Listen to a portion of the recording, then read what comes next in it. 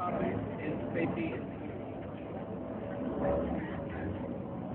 So the main problem of where our safety relies on our public schools is like on standing like standing people are getting killed or shot and.